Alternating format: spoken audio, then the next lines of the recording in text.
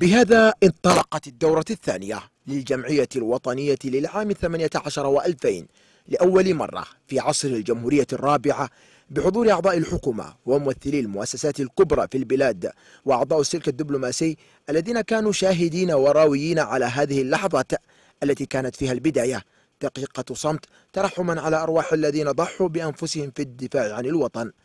وفقا للقانون الأساسي الجديد فإن هذه الدورة ستكون لمدة أربعة أشهر بدلا عن الثلاث التي كانت في السابق. وخلال هذه الدورة سوف يدرس ممثلي الشعب مختلف مشاريع القوانين منها ذو الأكثر أهمية كمشروع قانون الميزانية للعام 19 و2000 مشروع ذكر من خلاله رئيس الجمعية الوطنية الدكتور هارون كبدي السلطات بأنها حتى الآن لم تضعه على طاولة الجمعية الوطنية طالبا منها الإسراع في تقديم مشروع القانون وفقا للوقت المحدد في الدستور. الغياب المتكرر والغير مبرر من بعض النواب خلال الدورة وسفر رئيس الجمهورية إلى الصين وكثرة أمطار هذا العام مما سبب الفيضانات وغيرها من المواضيع. تطرق إليها رئيس الجمعية الوطنية الدكتور هارون كبادي في خطابه الافتتاحي للدورة الثانية. Session ordinaire 2018 consacrée à l'examen du projet de loi de finances. الدورة الثانية العادية ستكرس لفحص واستعراض مشروع قانون المالية.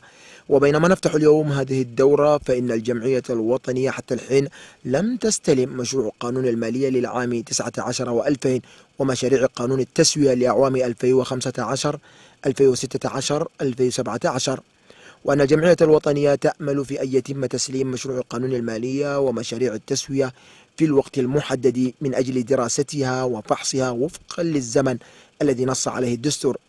وأود أن أعلم السادة النواب بأنه سيتم تنظيم ورشة لاستعراض مشروع الميزانية العامة للدولة بناء على أهداف التنمية المستدامة.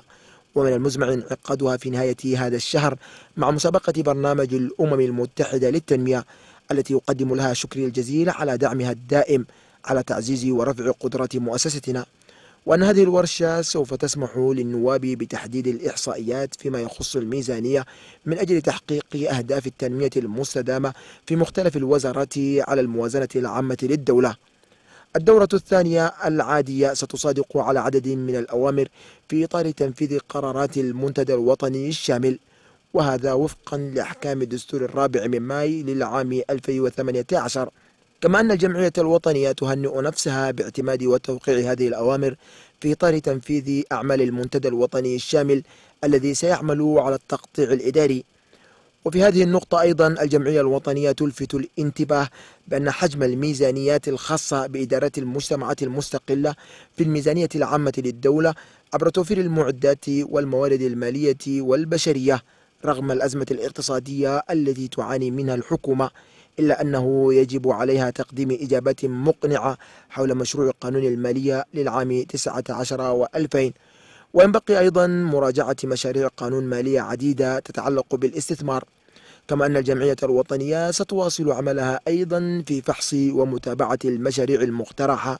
وهذا اللقاء مع أعضاء الحكومة يسمح للنواب بتقديم الأسئلة الشفهية المتعلقة بالأحداث اليومية والبحث عن كافة وسائل المعلومات ومراقبة الجمعية الوطنية لأعمال الحكومة. Autrement dit, tous les moyens d'information et de contrôle de l'Assemblée nationale sur l'action gouvernementale.